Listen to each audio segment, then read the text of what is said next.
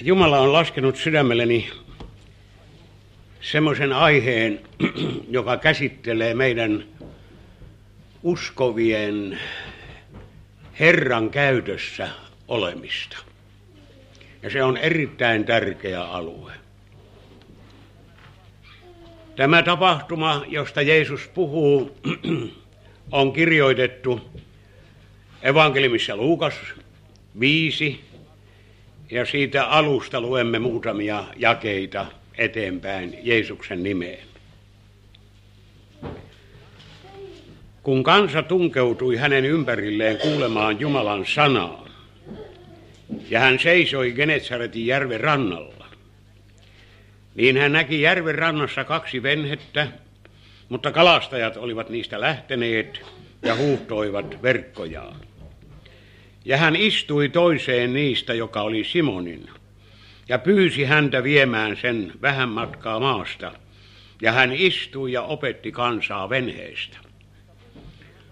Mutta puhumasta lakattua hän sanoi Simonille, vie venhe syvemmälle ja heittäkää verkkonne apajalle. Niin Simon vastasi ja sanoi hänelle, mestari, Koko yön me olemme tehneet työtä, emmekä ole mitään saaneet. Mutta sinun käskystäsi minä heidän verkot. Ja sen tehtyään he saivat kiertyksi suuren joukon kaloja, ja heidän verkkonsa repeilivät. Niin he viittasivat toissa venheessä oleville tovereilleen, että nämä tulisivat auttamaan heitä, ja he tulivat. Ja he täyttivät molemmat venheet niin, että ne olivat uppoamaisillaan. Kun Simon Pietari sen näki, lankesi hän Jeesuksen polvien eteen ja sanoi, mene pois minun tyköäni, Herra, sillä minä olen syntinen ihminen. Sillä kalansaaliin tähden, jonka he olivat saaneet, oli hämmästys vallannut hänet ja kaikki ne, jotka olivat hänen kanssaan. Ja samoin myös Simonin kalastuskumppanit, Jaakobin ja Johanneksen Sebeteuksen pojat. Mutta Jeesus sanoi Simonille, älä pelkää, tästä edes sinä saat saaliiksi ihmisiä.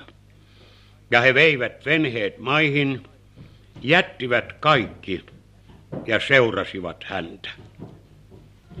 Amen. Jeesuksen kokoustilanteet hyvin usein olivat ulkoilmatilaisuuksia. Varmasti kun olette raamattua lukeneet, olette panneet merkille, että kokoukset järjestäytyivät monta kertaa hyvin tuolla tavalla spontaanisesti sinne, minne Jeesus tuli ja hänen tulonsa oli sen laatuinen, että hänestä puhuttiin jo etukäteen paikakunnalla. Ja se merkitsi myöskin sitä, että hänen toimintansa yhteydessä ihmeet ja merkit sävyttyvät voimakkaasti hänen toimintaansa. Nyt me näemme tässä tilanteessa poikkeuksellisen tapahtuman. Jeesus ei tässä parantanut ainuttakaan sairasta. Eikä myöskään kutsunut ketään esille sieltä, että joka olisi tarvinnut pelastusta ja, ja tehnyt parannusta ja niin poispäin. Ja kuitenkin väkeä, joukkoa oli tavattoman paljon. Ja kun tämä tilaisuus on sitten päättymässä, niin Jeesus menee yhden opetuslapsen luokse, jonka nimi on Simon Pietari. Ja tuon kokouksen jälkeen hänellä on Pietarille hyvin, sanoisinko, päivän polttamaa asiaa, joka tuli tässä luetussa sanankohdassa hyvin voimakkaasti esille kun olen pysähtynyt ajattelemaan, miksi juuri Pietarille.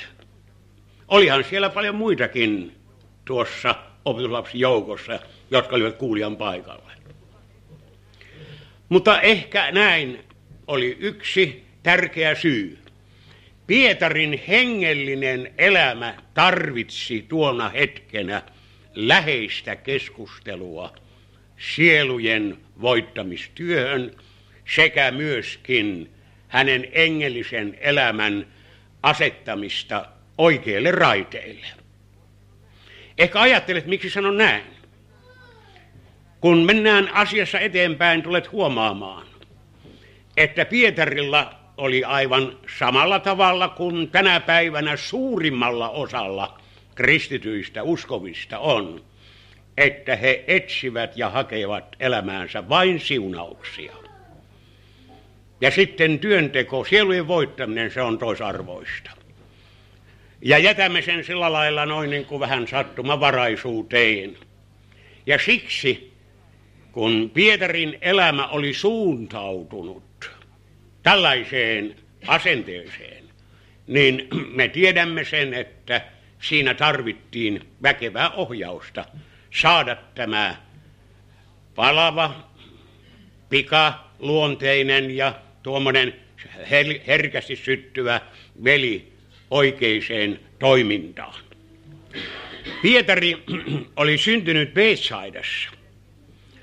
Ja sitten hänelle myöhemmin tuli kotikaupungiksi Kabernaum. Raamattua tuntevina tiedätte, että siellä sanotaan nämä paikat hyvin selkeästi. Sitten myöskin Pietari oli ammatiltaan kalastaja, ei teologi.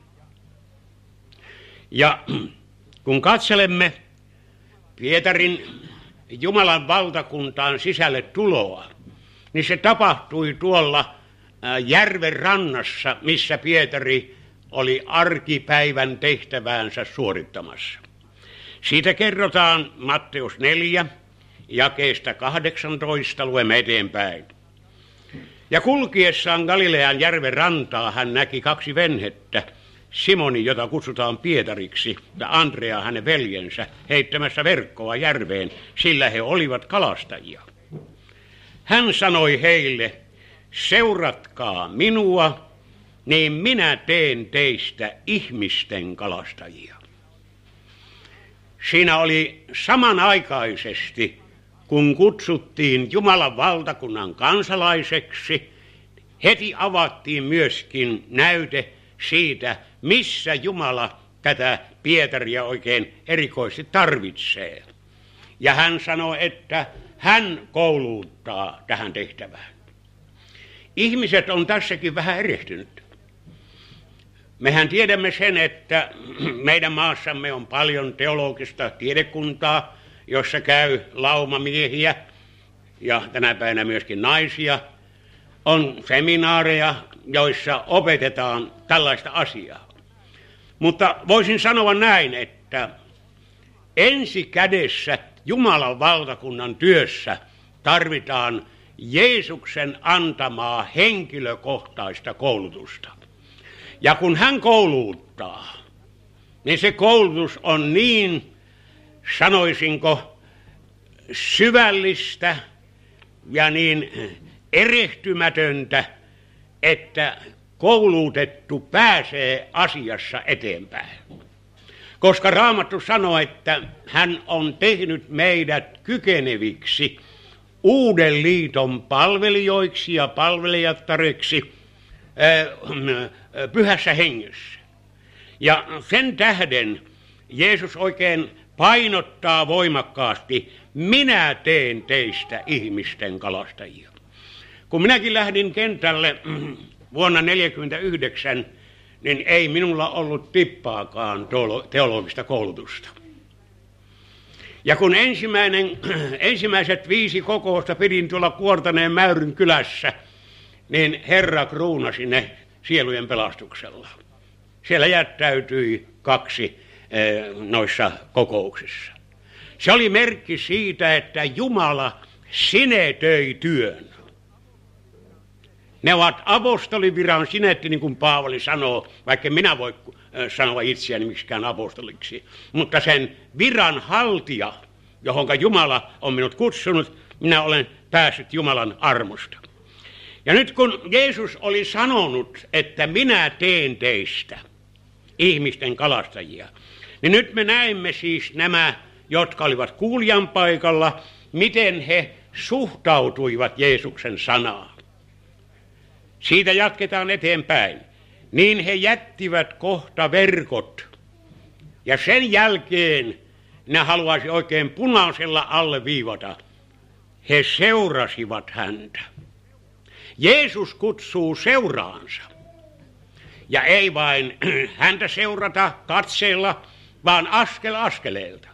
Ja paimen on aina edellä antamassa ohjeet, eikä paimen jää koskaan lauman taakse heittelemään kiviä ja kantoja.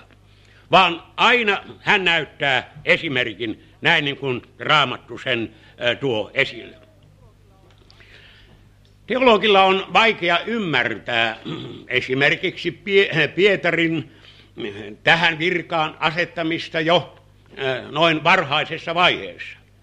Ja on myöskin sillä lailla, että he hyvin voimakkaasti ovat vallankin viime aikoina puhuneet siitä, että onko, oliko apostolit ennen helluntaita uudesti syntyneitä vai ei. Ja tässä he viivyttävätkin aikaansa tämmöisessä joutavan päiväisessä asiassa. Mitä se heille kuuluu, oli tai ei. Mutta sen tiedämme, että Jumala vaikutti henkensä kautta näissä opetuslapsissa. Mistä sen tiedämme? Nyt tarkkaamme taas Jumalan sanaa. Evankeliumissa Matteuksen mukaan sen 16. luvun jakeet 16 ja 17 vastaavat tähän kysymykseen. Simon Pietari vastasi ja sanoi, sinä olet Kristus, elävän Jumalan poika. Jeesus vastasi ja sanoi hänelle, autuas olet sinä Simon Joonan poika, sillä ei liha eikä veri ole sitä sinulle ilmoittanut, vaan minun isäni, joka on taivaassa.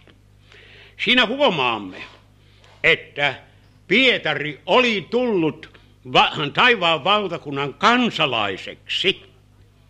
Ja Jumala sanansa kautta vahvistaa, että isä oli sen hänelle ilmoittanut. Silloin ei meidän tarvitse millään tavalla näitä asioita spekuloida, vaan me tiedämme, että hän, joka on kutsunut, hän, joka on vapauttanut, hän, joka on antanut autuuden varmuus, varmuuden Pietarille, hän myöskin tietää, että hän on valtakunnan kansalainen ja sisällä Jumalan valtakunnassa.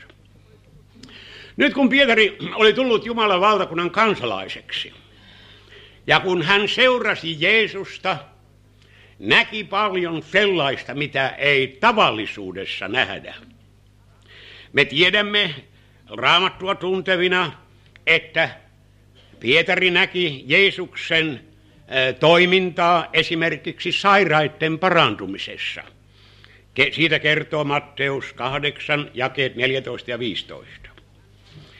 Sitten hän sai olla myöskin sellaisessa erikoislaatuisessa siunauksessa mukana, jossa oli kolme muuta veljeä, Jaakob, Johannes ja Pietari. Se oli kirkastusvuori. Siitä kertoo Matteus 17 jakeet 1-4.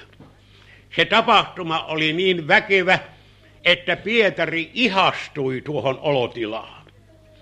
Ja me tiedämme myöskin raamatun sanassa sen esille tulon, että ihminen niin helposti ihastuu tunteiden tuommoiseen vaikutukseen. Ja yse eh, monet etsivätkin. Ja nythän vallitseekin oikein erikoisliike, joka aina syöttää tunteita ja puhuu tunteiden tulemisesta. Nyt Pietarikin tuolla vuodella, niin hän oli näiden tunteiden haltioittomana. Hän sanoo Jeesukselle, että nyt ei sitten lähdettykään tästä mihinkään. Niin ihana olla. Rakennetaan kolme majaa. Mitä me työstä, mitä me sieluista. Eihän näitä sanonut, mutta tuli tuommoinen tunnemaailma. Me vaan haluamme olla täällä. Pannaan mökkikylä oikein tänne ilmestysvuorelle. Ei Jeesus kuitenkaan tähän hyväksynyt. Ja sanon, että olkaa tunteita täynnä ja rakentakaa siihen tunteiden pohjalle tuota elämään. Ja Pietarilla oli myöskin yksi semmoinen erikoistapahtuma elämässään, jota ei toisilla opetuslapsilla ollut. Ja se oli tämä, että hän käveli veden päällä. Matteus 14 ja 29. Nyt oli sellaisia siunauksen kokemisia Pietarin elämässä. Ja vielä tämä yksi oli semmoinen, että se korosti hänen tunnemaailmaansa ja sitten elämänsä asenteita muihin opetuslapsiin nähden. Ja kun tämä tällainen, sanoisinko, väärä asetelma hengellisesti oli Pietariin syttynyt, niin hän sen lausui sitten ajatukseksi. Ja tämä on myöskin helppo tulla meidänkin elämään. Jos me olemme päässeet kokemaan siunauksia omassa elämässämme, niin me pian katselemme, että nämä toiset kaverit jää hyvin, sanoisinko, puille paljaille. Ja ajatellen, että kun minä täytyn pyhällä hengellä, sain lahjoja ja oli niin valtavaa tunnekuohua sisäisessä maailmassa, niin onkohan tuo naapurin Maija ja Miina saanut mitään? Eikä se tiedä mitään, kun se ei ole saanut mitään. Näin tuli myöskin Pietarin elämään tämmöinen ajatelma. Ja se tulee ilmi tässä Matteus 26, jakeet 33 ja 34. Niin Pietari vastasi ja sanoi hänelle, vaikka kaikki loukkaantuisivat sinuun, niin minä en koskaan loukkaannu. Ei se ollut väkevää puhetta. Kyllä oikein tuntuu, että Pietarin parta vapisi, kun se ajatteli, että toiset saattaa luokoa ja lähteä karkuun, mutta tässä on semmoinen pylväs, joka ei sitten koskaan lähde mihinkään. Ja tällaisessa mielentilassa, niin sitä voidaan sanoa, että Pietari lankesi näillä siunausten kokemuksilla, jotka eivät olleet tarkoitettu tähän mielentilaan, hän lankesi inhimilliselle tasolle. Hänellä ei ollut enää hengellistä viisautta, vaan hän oli äh, mennyt niin äh, inhimilliselle tasolle, että hän jopa vähän halusi nuhdella Jeesustakin. Että kaikki ei ole ihan oikein, mitä Jeesus sanoo. Ja mitä Jeesus puhuu. Ja eikö tunnu joskus sillä tavalla, että tekisi mieli Jumalalle sanoa, että eiköhän tämä ole väärin kun tuo kohta on vähän tuossa mallissa ja tämä kohta tässä mallissa ja pitäisi olla vaan tässä uskovainen ja niin, eikö, eikö pantaisi pikkusen noin vähän, jotta saataisiin vähän asioihin jotain muuta. Ja monta kertaa monet ihmiset ovat tähän langenneet ja lähteneet opettamaan sitten Jumalaa ja Jeesusta. Mutta kun Pietari lankesi tällaiseen tilaan, niin me luemme täältä miten Jeesus suhtautui tähän aina valmiiseen ja tulisieluiseen mieheen. Luemme siitä Matteus 16, jakeet 22 ja 23. Silloin Pietari otti hänet eri, erilleen ja rupesi nuhtelemaan häntä sanoen, Jumala varjelkoon, Herra, älköön se sinulle tapahtuko. Kun Jeesus oli puhunut kuolemastaan, kärsimyksistään ja, ja äh, ylösnousemuksestaan, niin Pietari oli niin inhimillisellä tasolla, että hän tietysti ihan noin oikeutetusti, kun inhimillisesti ajattelemme tätä Pietarin asennetta, niin hän alkoi sääliä ja sanoi, että Jumala varjelkoon sinun tuomoiseen. Sä oot Israelin kuningas ja niin poispäin. Miten se nyt tuollaiseen? Ja kun hän tällä tavalla sitten sanoo Jeesukselle, niin Jeesuksen täytyy ottaa hyvin voimakas kanta. Minulle on sanottu niin, että sinä esität asiat liian voimakkaasti. Että ihmiset loukkaantuu. Mutta minä olen sanonut aina, että en niin voimakkaasti ole koskaan esittänyt kuin Jeesus esitti Pietarille, kun Pietari oli vinoutunut uskon elämässään. Jeesus sanoi näin, mutta, kun, äh, mutta hän kääntyi ja sanoi Pietarille, mene pois minun edestäni, saatana.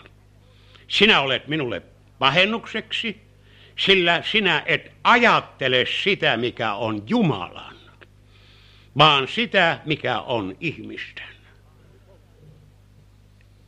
Se oli pommi.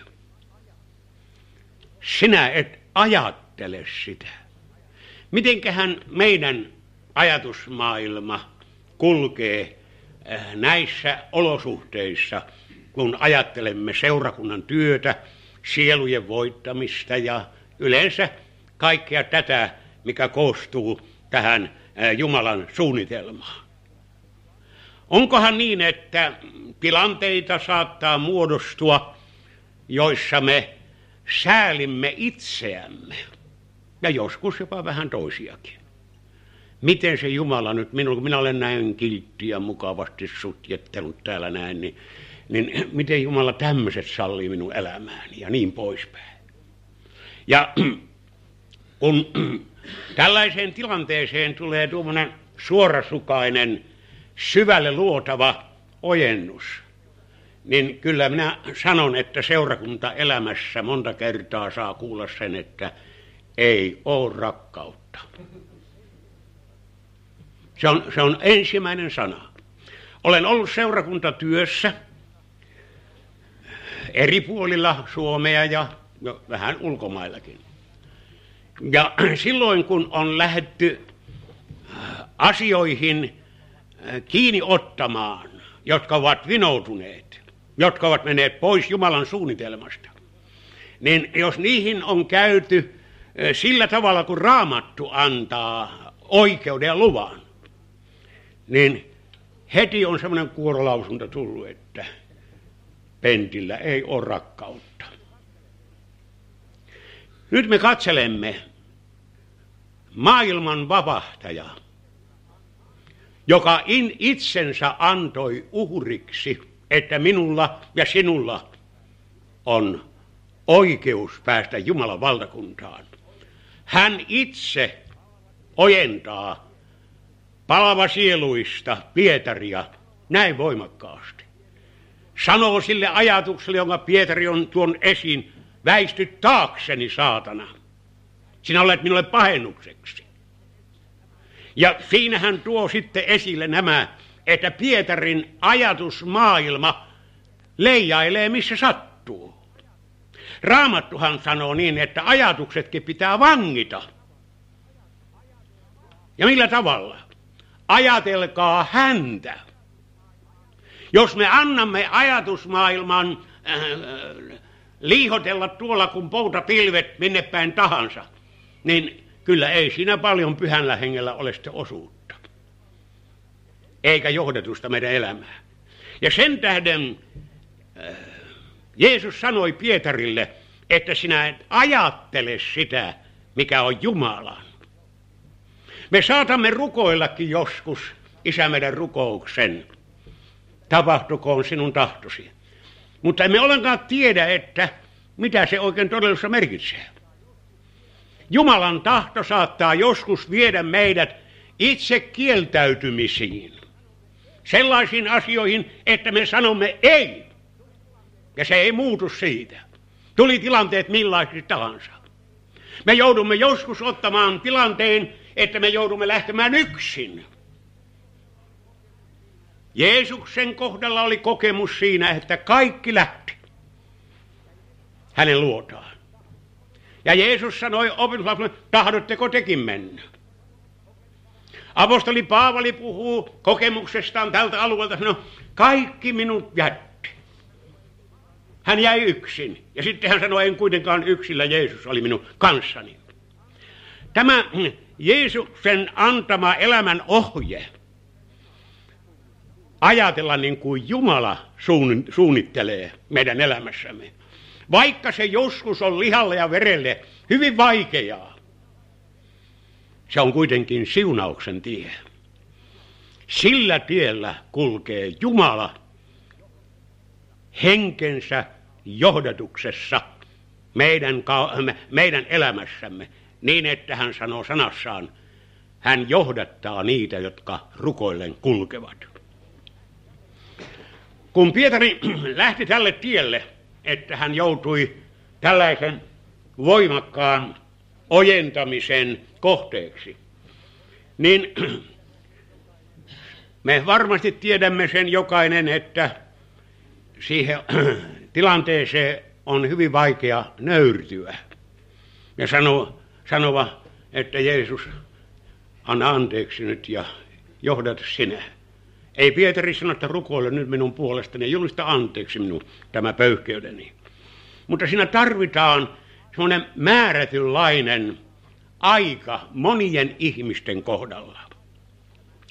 Nyt me katselemme tämän Pietarin pöyhkeyden jälkeen, miten se asia sitten jatkuu eteenpäin. Matteus 26 ja 58. Ja Pietari seurasi häntä taampana ylimäisen papin esipihaan asti. Ja hän meni sinne ja istui palvelijain joukkoon nähdäkseen, kuinka lopulta kävisi. Me huomaamme, että Pietari ei enää räiskynytkään niin kuin aikaisemmin. Vaikka kaikki muut, niin minä en. Vaan Pietari on jätättänyt takajoukkoon. Ja sitten hän mukautuu. Minne vaan samaan porukkaan näiden eh, murhaajien kanssa.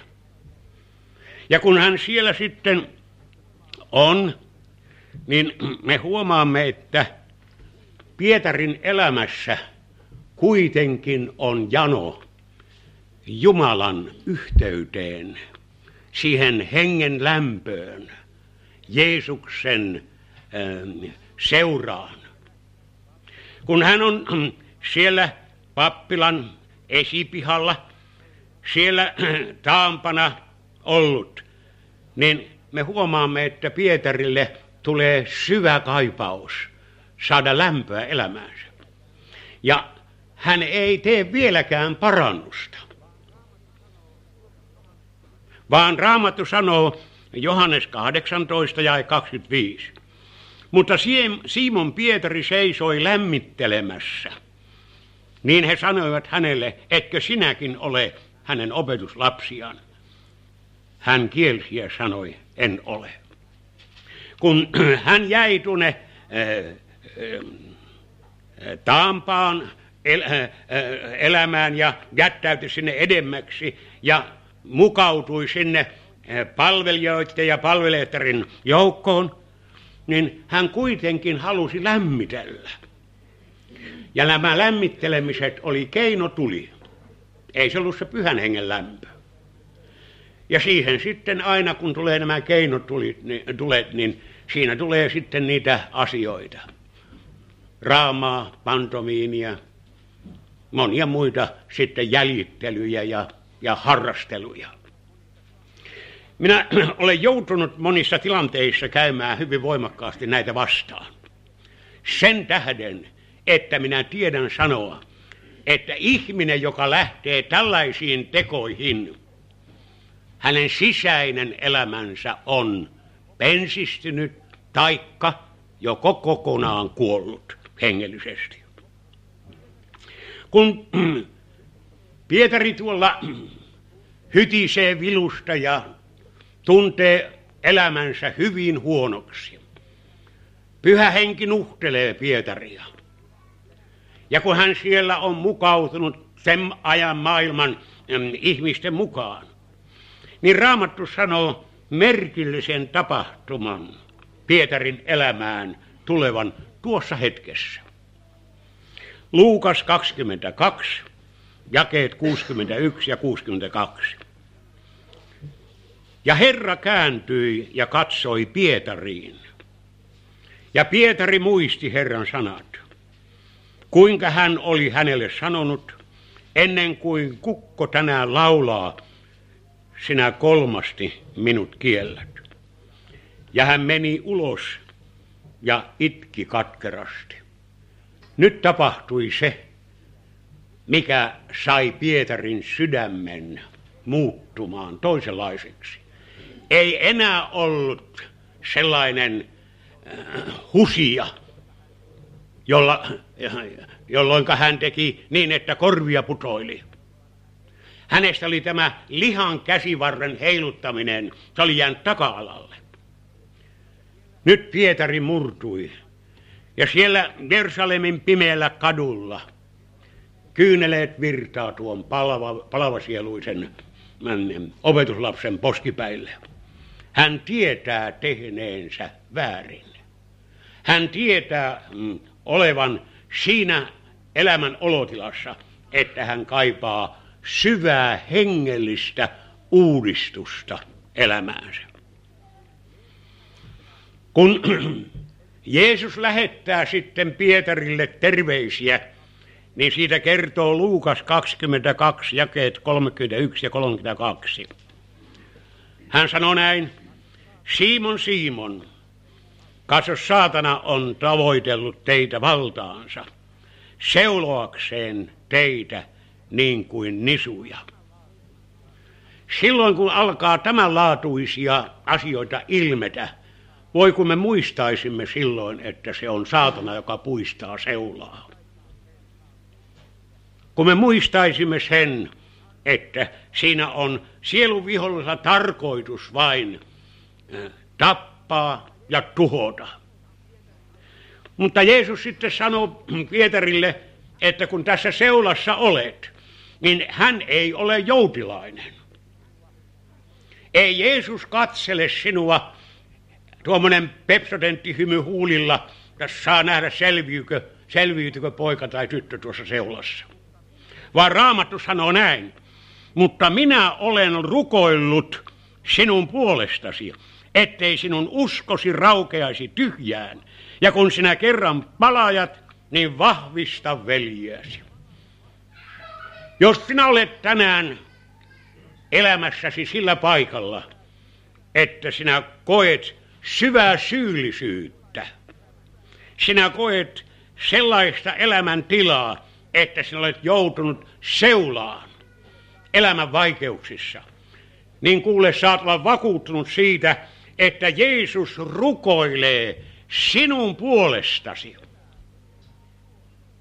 Hän elää rukoillakseen, ettei sinun uskosi raukeaisi tyhjään. Ja kun tilanne menee sitten eteenpäin, niin täällä luemme Markus 16 ja 17, jossa Jeesus lähettää edelleen terveisiä ja sanoo näin, mutta menkää ja sanokaa hänen opetuslapsilleen ja Pietarille. Hän menee teidän edellänne Galileaan. Siellä te saatte hänet nähdä niin kuin hän on teille sanonut. Nyt kun Pietari oli kokenut nämä seulonnat, nämä harha-askeleet, nämä äh, väärät asenteet, niin hänelle annetaan lupaus.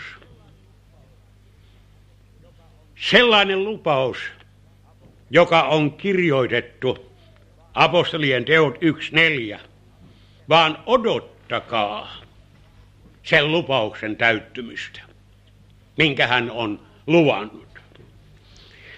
Tämä on semmoinen asia, että minä olen joskus sanonut näin, että meidän ei saa sellaiseen toimintaan yhtyä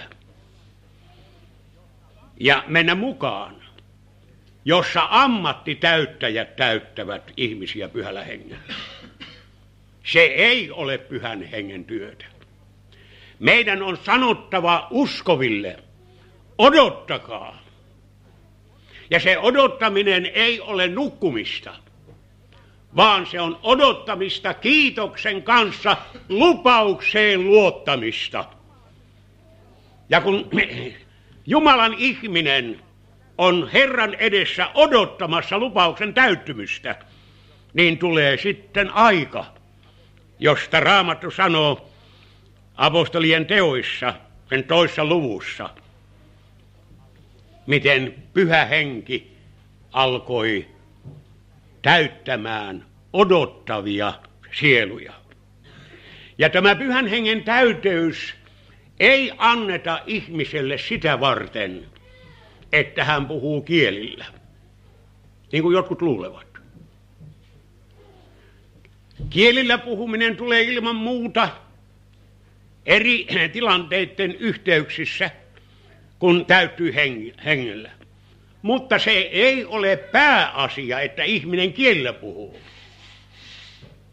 Jotkut ajattelevat, että ei voi täyttyä ilman kielellä puhumista pyhällä hengellä. Raamattu sanoo, että ei kaikki puhu kielillä. Se on raamatun totuus.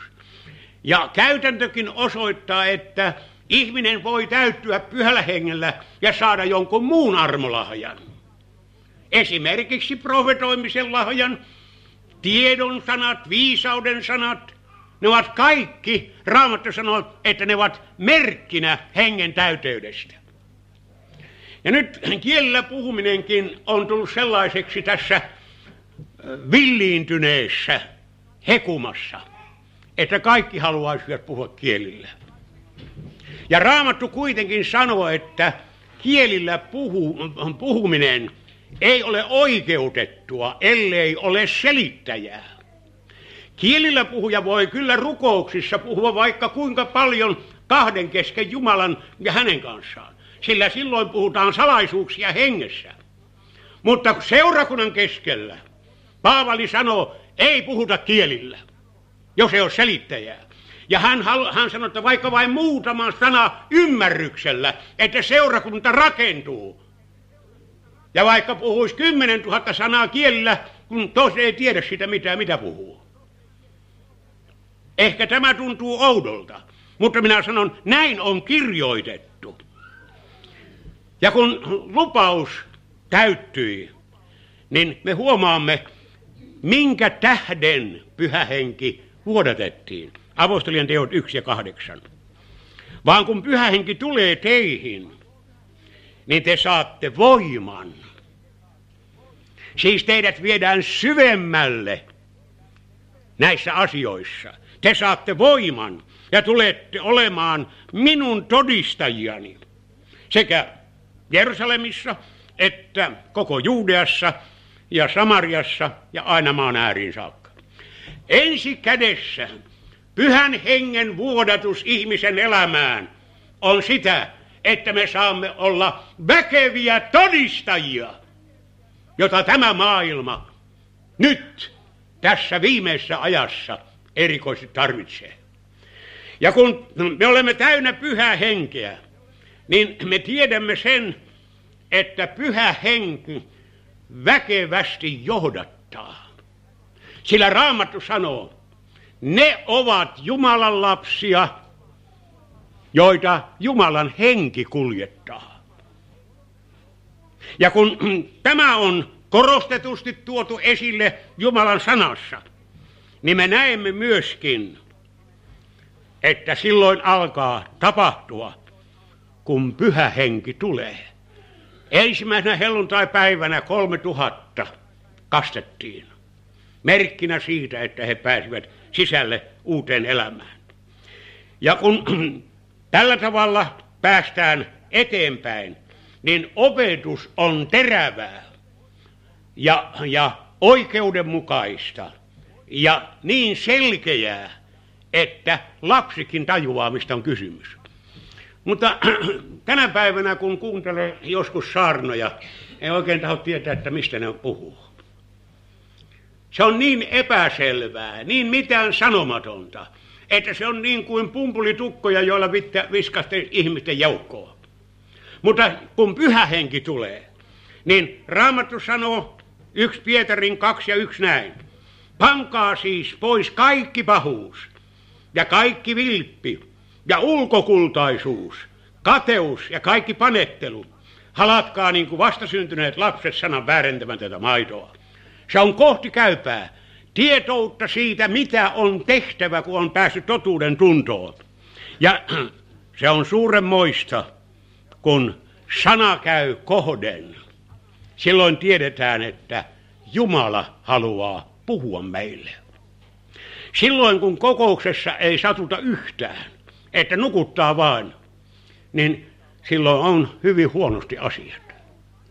Sanan täytyy aina saada ruokkia meidän sisäistä maailmaa, hengellistä elämää, herättää meitä pensistyneestä tilasta. Sana pitää olla niin kuin tikari, joka menee lävitse ja synnyttää meille tarpeita. Kiitos Jumalalle. Kun joku aika sitten olin tuolla Kaustisella.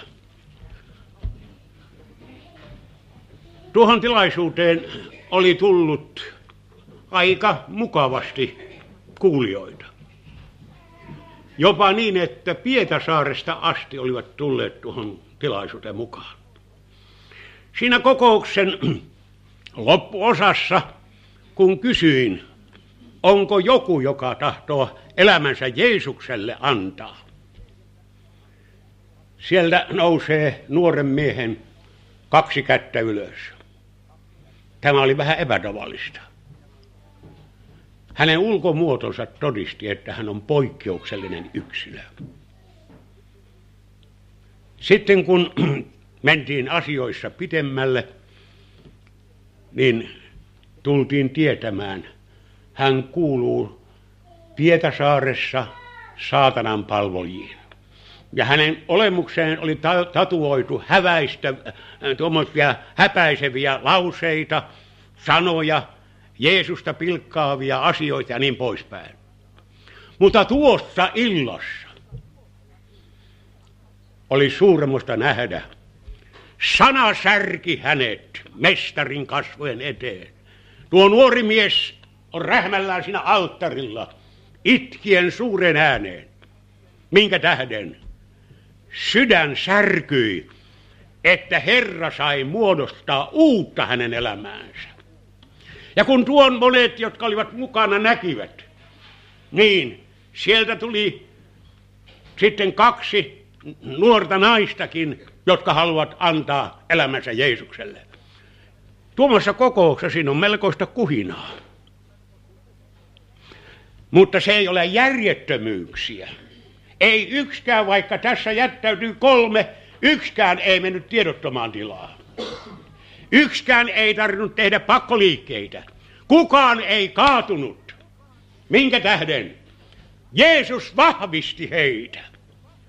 Antoi heidän syntinsä anteeksi ja siunasi heitä. Jälkeenpäin kuulin sitten, että Pietasaaresta soitettiin, että kun tämä poika oli mennyt kotiinsa ja hänen jumalaton äitinsä oli sitten seurannut tämän pojan elämän muuttuneita asenteita. Hän oli aivan jollakin tavalla niin kuin peljästynyt. Mutta sitten tapahtui eräänä yönä ihme. Tuo poika sillä yövuoteellaan väkevästi alkaa kiittämään Herraa uusin kielin. Täyttyy pyhällä hengellä. Halleluja. Herra on väkevä ja voimallinen. Meidän tulee vain erikoisesti paneutua siihen, että pyhä henki pääsee johdattelemaan meitä. Ei, tänä päivänä emme enää, minä olen siinä uskossa, että ei ole enää sellaista leikkuupuimuri evankeliointia. Nyt tarvitaan vain sirpin kanssa mennään ja katkotaan tähkäpäitä. Mutta se onkin autuossa, kun saa yhdenkin tähkäpään Herran luokse.